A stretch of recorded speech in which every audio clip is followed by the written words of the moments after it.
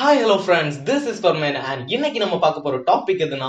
Henry lupus எழுதின advance உங்களுக்கு இந்த மாதிரி நிறைய லிட்ரேச்சர் சம்பந்தமான வீடியோஸ் பார்க்கணும்னா மறக்காம இந்த சேனலை சப்ஸ்கிரைப் பண்ணுங்க அண்ட் பெல் ஐக்கானை தட்டி விட்டுருங்க. இன்றைக்கு நாம் பார்க்க இருக்கின்ற இலக்கிய படைப்பு ஹென்றி லூப்பஸ் எனும் ஆப்பிரிக்க எழுத்தாளர் எழுதிய தி அட்வான்ஸ் எனும் சிறுகதை.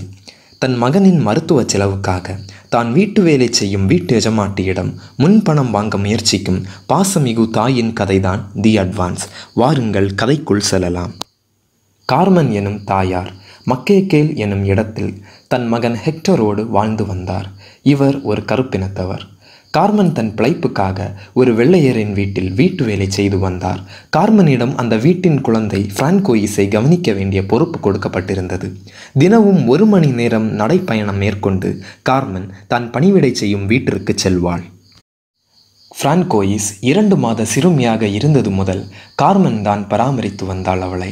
அன்றைய தினம் இரவு ஏழு மணிக்கு கார்மன் பிரான்கோயிஸுக்கு உணவு ஊட்டிய பின்பு தன் எஜமாட்டியின் அறிவுரைப்படி பிரான்கோயிஸுக்கு ஆரஞ்சு பழத்தினை ஊட்ட முயன்றார் ஆனால் பிரான்கோயிஸுக்கு ஆரஞ்சு பழம் பிடிக்காத காரணத்தினால் அதனை மறக்கின்றார்.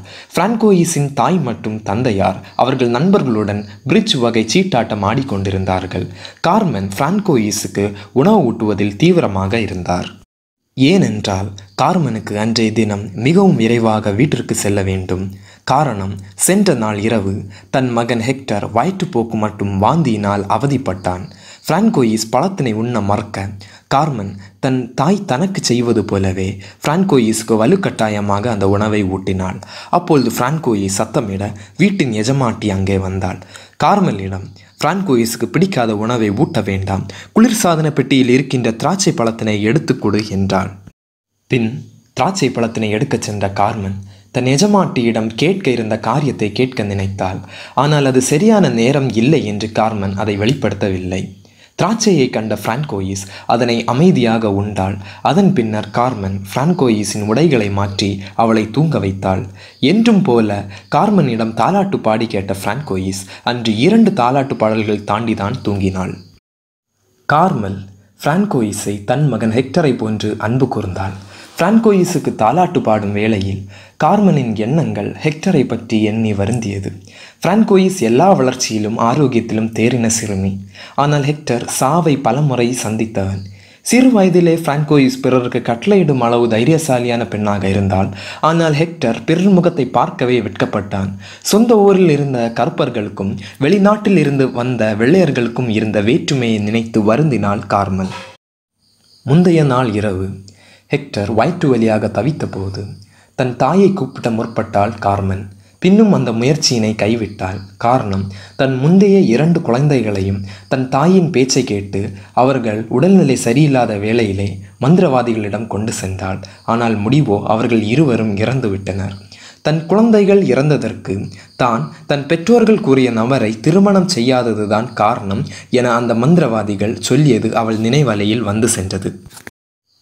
கார்மனுக்கு கணவன் இல்லை. தன் பெற்றோர் தன்னிடம் கிட்டியோங்கா ஃப்ளாவின் என்னும் அரசு டாக்ஸி டிரைவரை கல்யாணம் செய்ய கூறினார்கள். அவருக்கு நான்கு டாக்ஸி ஒரு பார் என சொத்தும் இரண்டு மனைவிகளும் உண்டு. ஆனால் கார்மன் அதற்கு உடன்படவில்லை. கார்மனுக்கு தன் குழந்தையை தனிமையில் அதுவும் நோய் படுக்கையில் விட்டு செல்ல மனம் இல்லை ஆனால் அந்த மாதம் அவள் இரண்டு விடுப்பு எடுத்திருந்தபடினாலும் வறுமையின் காரணமாகவும் தன் மகனின் மருத்துவ செலவிற்கு முன்பணம் வேண்டும் என்பதற்காகவும் அன்று வேலைக்கு சென்றாள். கார்மனின் ஒரு மாத சம்பளம் ஐந்தாயிரம் பிரான்ஸ் அதிலும் நான்காயிரம் பிரான்சினை அவள் உறவினர் மற்றும் அவள் தாய்க்கு கொடுக்க வேண்டிய நிபந்தனையில் அவள் இருந்தால் வெறும் ஆயிரம் பிரான்ஸை வைத்துதான் தன் செலவை அவள் நகர்த்தினாள். பிரான்கோயிஸ் தூங்கியதும் எஜமாட்டியிடம் தன் நிலையை கூறி முன்பணம் கேட்டாள் கார்மன். ஆனால் தன்னிடம் காசு இல்லை. நாளை ஐநூறு பிரான்ஸ் தரலாம் என கூறி தன்னிடம் இருந்த ஆஸ்பிரின் மருந்துகளை கொடுத்தாள் எஜமாட்டி. கார்மன் வேலை முடிந்து இல்லம் செல்லும்போது தன் இல்லத்தில் அழுக்கூக்குரல் கேட்டது. ஆம் கார்மனின் மகன் ஹெக்டர் நோயினால் இறந்து போயிருந்தான்.